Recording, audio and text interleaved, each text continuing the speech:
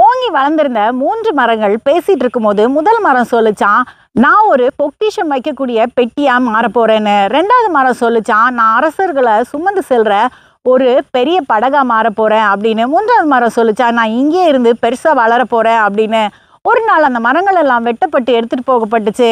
முதல் மரம் ஒரு பசு தொட்டில்ல பசுக்களுக்கு சாப்பாடு கொடுக்குற ஒரு டப்பாவாக செய்யப்பட்டது.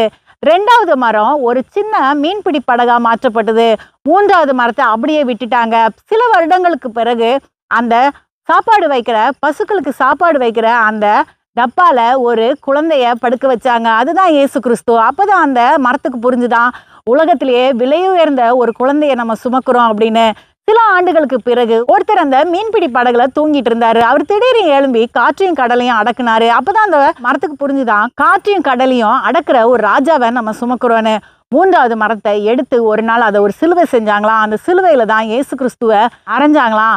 அந்த மரத்துக்கு அப்பதான் புரிஞ்சுது உலகத்தின் ரட்சகரை நம்ம சுமந்திருக்கோம் அப்படின்னு. நம்ம எண்ணங்கள் என்னவா இருந்தாலும் கடவுளுக்கு நம்ம வாழ்க்கையில ஒரு நோக்கம் இருக்கும். அந்த நோக்கத்தை நம்ம அடையும் போது நமக்கு ரொம்ப மகிழ்ச்சியா இருக்கும்.